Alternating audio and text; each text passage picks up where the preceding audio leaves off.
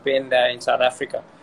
Um, 2007 probably was the defining moment of us group together uh, doing something special, and um, and uh, I don't think anyone gave us a chance in that World Cup. From you were captain.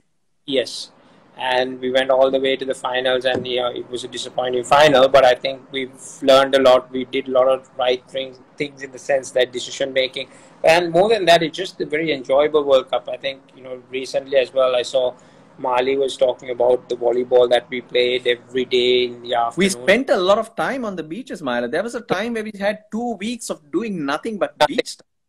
It was a long World Cup as well. I, I believe it was like eight weeks or nine weeks of cricket in that time because of traveling and different island hopping and stuff like that. So it was a very enjoyable World Cup. Really enjoyed that, spending time with the group and doing lots of stuff. And we were winning, so that was important.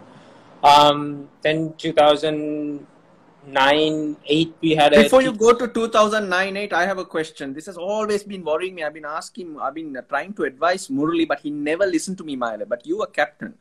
Now, in the 2000 World Cup, um, in the group game, we played every team once, and then we went to the semis and the finals. Yeah. In the group game against Australia, who got Gilchrist and Hayden out? Murali didn't play the game. Yeah, yeah, I know. It was. So why didn't you give me to bowl in, in the final? because I knew that Gilchrist might hit over the stadium. He was because hitting. I went, I went and told Muri, Muri, mang dapu idira and he told me, he told me in his nice language.